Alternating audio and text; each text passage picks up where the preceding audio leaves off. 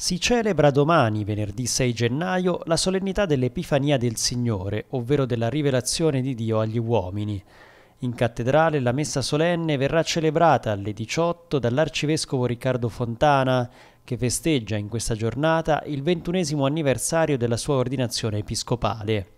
Monsignor Fontana, infatti, venne eletto il 16 dicembre del 1995 arcivescovo di Spoleto Norcia e consacrato vescovo il 6 gennaio 1996 nella Basilica Vaticana di San Pietro da San Giovanni Paolo II.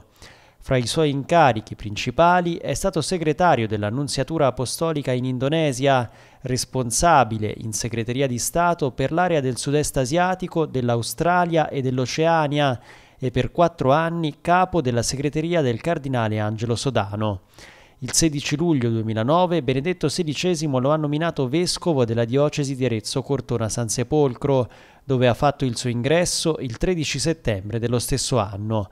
Con l'Epifania si celebra la prima manifestazione della divinità di Gesù all'intera umanità, con la visita solenne, l'offerta di doni altamente significativi e l'adorazione dei magi, che giunsero, secondo quanto riportato dal Vangelo di Matteo, da Oriente a Gerusalemme, guidati nel loro tragitto da una stella.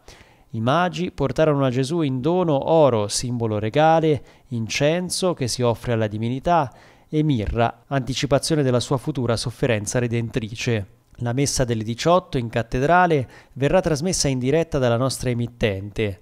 Nel corso della celebrazione verrà conferito il mandato ai ministri straordinari della Santa Comunione e verranno istituiti 16 nuovi accoliti.